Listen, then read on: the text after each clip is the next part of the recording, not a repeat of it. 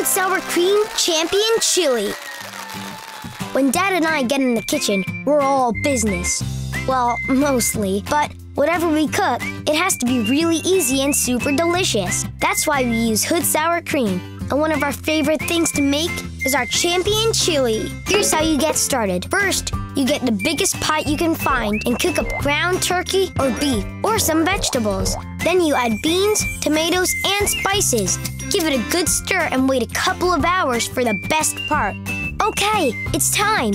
Scoop out enough chili for a big bowl and get your toppings ready. Shredded cheese, scallions, anything you want. But save the best for last. The Hood Sour Cream. My dad always adds a super big scoop to his bowl. It makes it so creamy. See? Fun to make and even funner to eat. Just go to hoodsourcream.com for the recipe. Get ready to scoop up the best chili you've ever had.